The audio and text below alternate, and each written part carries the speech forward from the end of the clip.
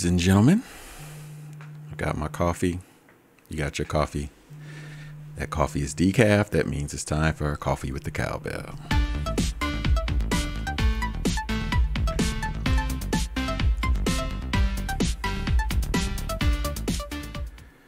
Cheers. I'm your host with the most, Ricardo Wilkins. Nice to see you again. If you're joining, you're joining because you're a teams and collaboration fanatic like myself, and you're here to listen to my musings about such things. If you are joining live on any one of, I'm never ready for this, uh, any one of these five platforms, um, I guess I could have put that on the other side. If you're joining from any one of those and you've got chat, um, feel free to put questions, comments, or say hello in the chat. I think I'm monitoring most, if not all of them, and and uh, happy to take any talk about any questions or anything you may have.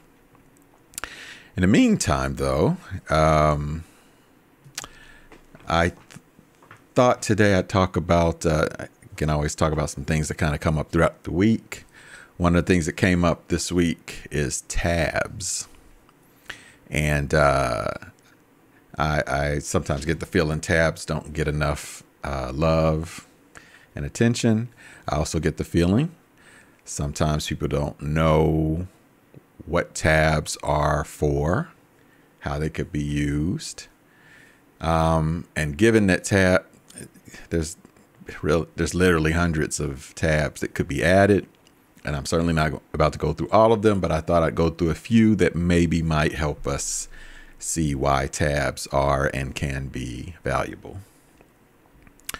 Um, so if you're wondering what is this tab thing that you speak of, it is essentially, you know, we're here in a team. Teams have channels, and channels have tabs. Tabs are up at the top. Every team, every channel, at least has two tabs. One is what's called posts, but that is essentially the chat of the. Uh, let me go to one that's actually got something.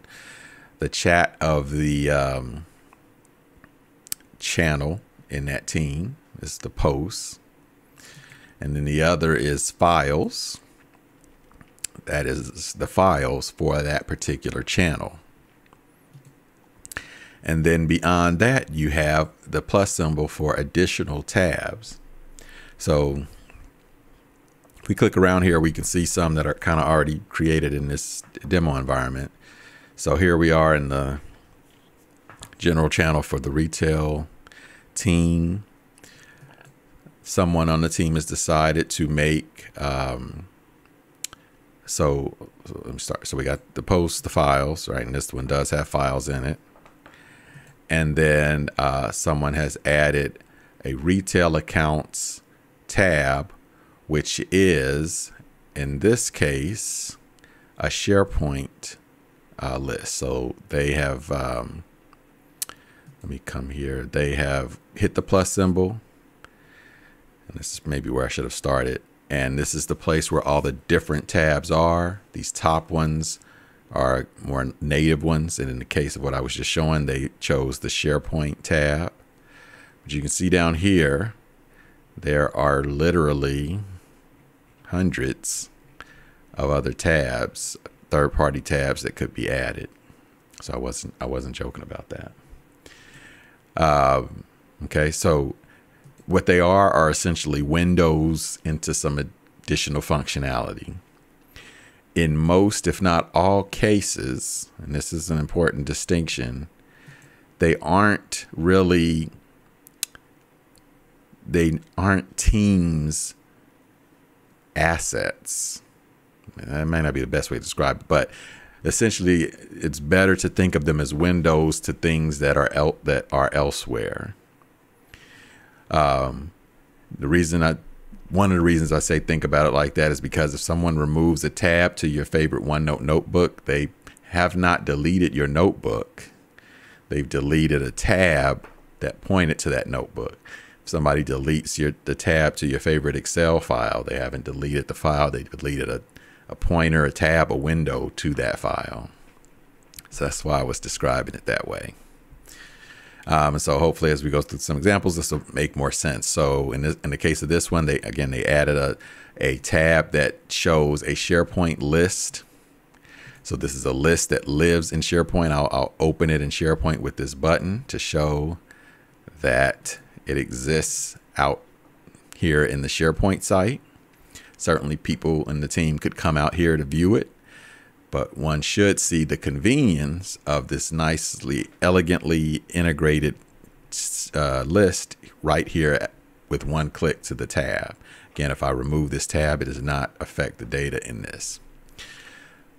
What's nice about this example, I mean, this is a real-time window to this data and this is data that can change either on the SharePoint side people could add or edit info or even here within Teams I can add or edit info here.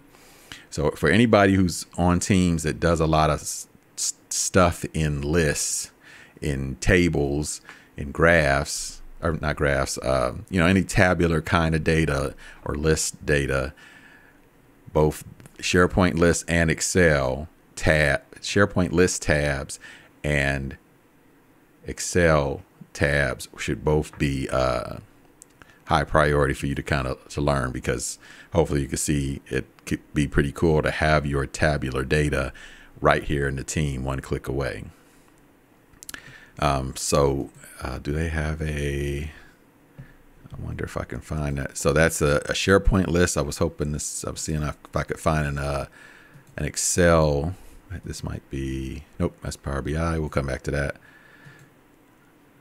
Um, let's just make one then, just to show an example of the difference. So again, we were looking at a SharePoint list of data here, or we could, if we're, another way to look at some tabular data could be an Excel spreadsheet.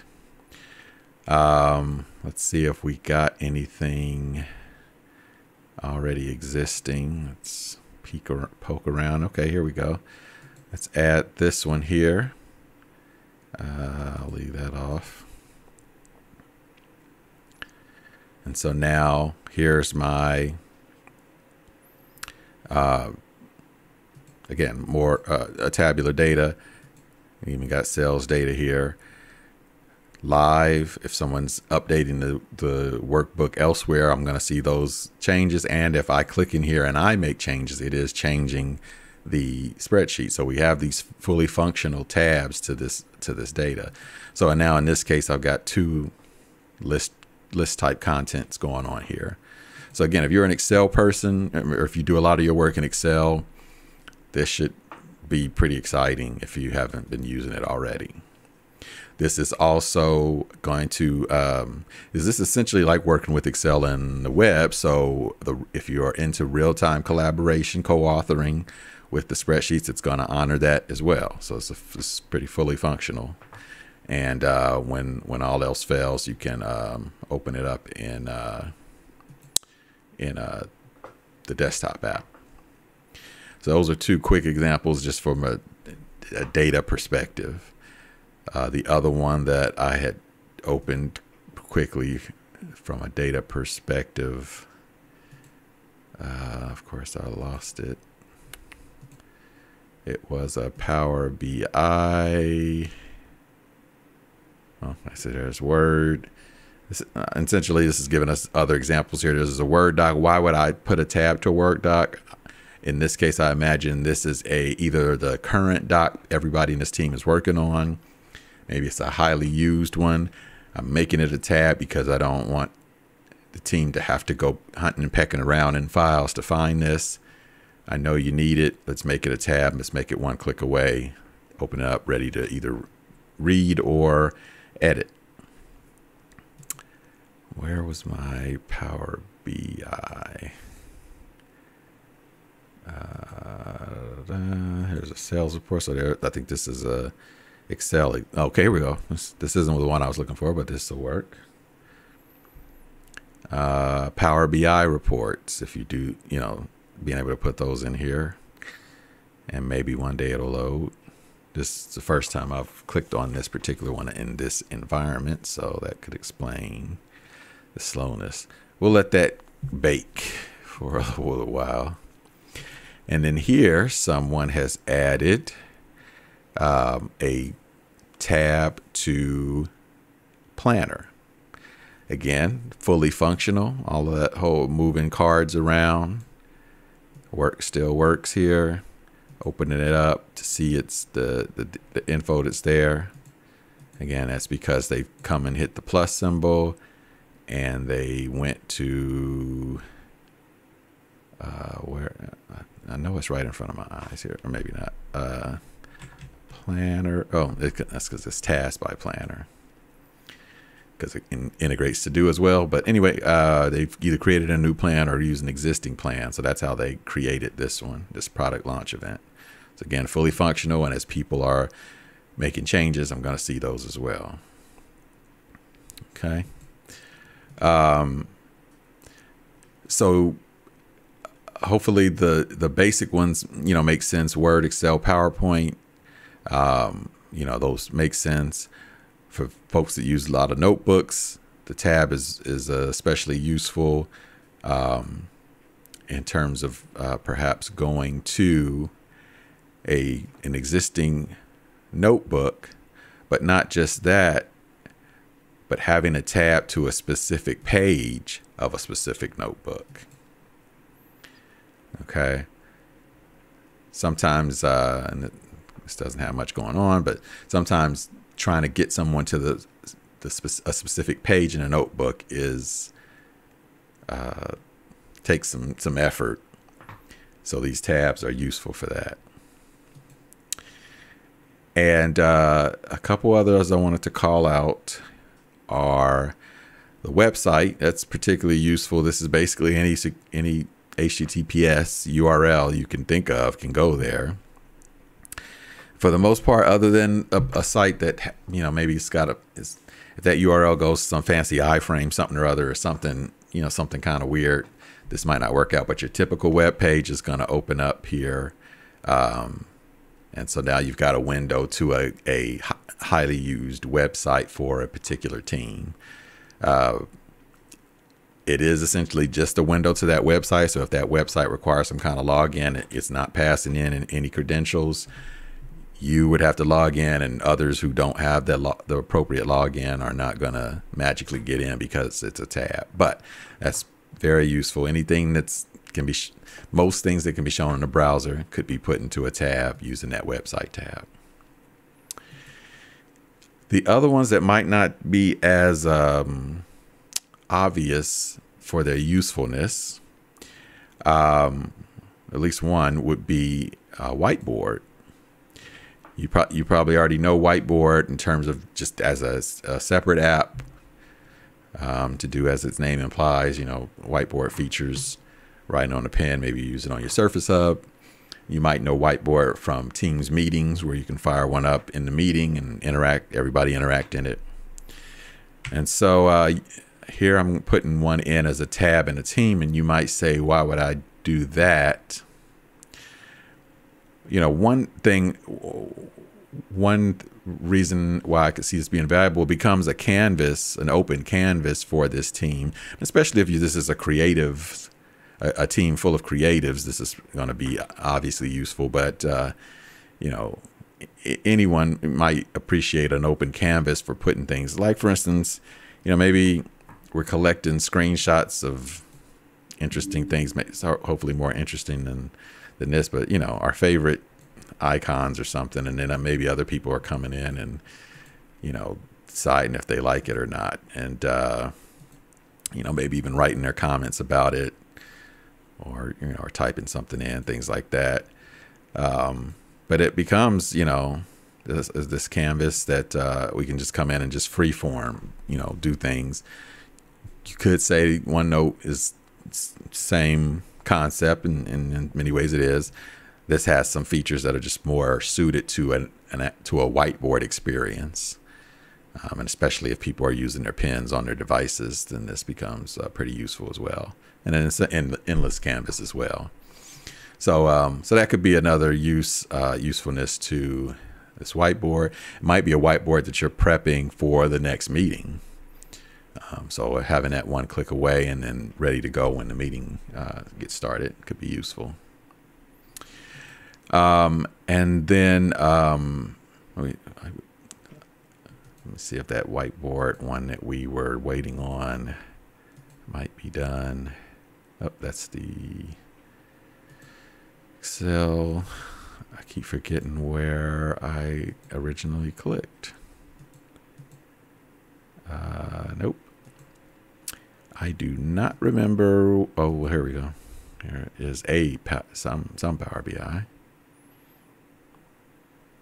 Yeah, in this environment, I don't think I've fired up Power BI at all yet, and that's what I'm assuming is is the is why this thing is is uh, having trouble. Let me do one thing here. Go to all my apps. Go down to yeah, maybe I don't even have it enabled. Oh well, let's see. Let's check this. could be that it's not enabled. I guess it is enabled for this user. I don't know if that's going to help.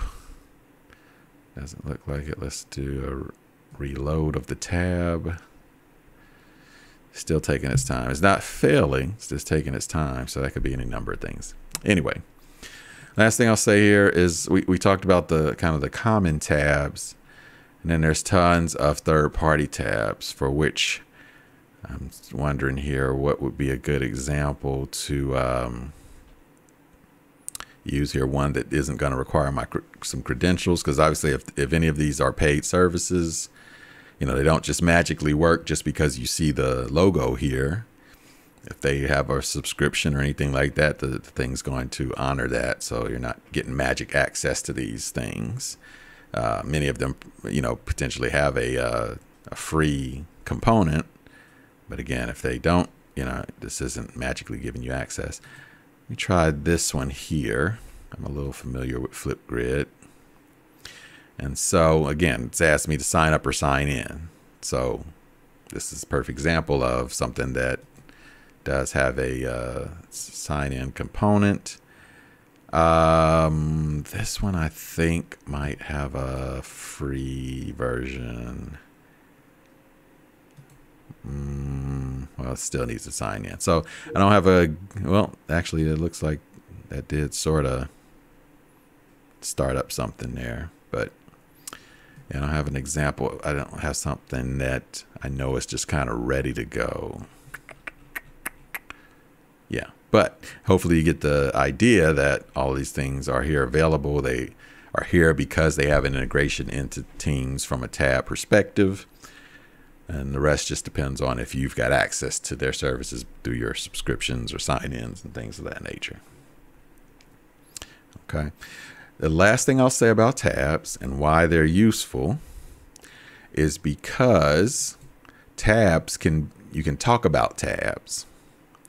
So in every tab you typically see this little uh, button here for the conversation and I could say something like, um, you know, please put your edits in the new white in the new whiteboard here. Now, one that is a conversation that is always accessible via this tab. So if I'm in this tab and I'm wondering what my teammates are saying about this tab's content, I'm one click away from whatever conversation is going on that conversation is also going on here in the channel for the um, for that team. So you can see what the stuff I just did created a new post, and now my edit my uh, comments and anyone else's comments are basically going to be happening in this conversation thread, and all of that will be represented here in this thread as well. So that's for the whiteboard. It could be the same thing for any of these other things, right? We could talk, we can have a conversation about this planner plan. We can have a conversation about this usability document. They all have a conversation thread associated with the tab. So again, that can be useful. Um, again, that is uh, it gets a little confusing when you're looking at uh, our office docs because again that's that's a conversation specific to teams when i open this word doc in word i should not expect to see that conversation at least today. I'd expect to see that conversation in word. It's a conversation about the tab for that word doc in in teams so hopefully that makes sense. So that may be one of the even if you've been using tabs, you might have neglected to, you know, realize you can have conversations about tabs. So even if I didn't blow your mind related to tabs in general, maybe I blew your mind about having a conversation about a tab. So I hope in some way I blew your mind about something and I hope that was useful. All right. So uh, if it is useful, useful, let me know in the comments. Um, let me know about other topics you might be interested in. Other than that, you can finish your decaf, finish your work, get some sleep. Glad you joined me. This has been Coffee with the Cowbell.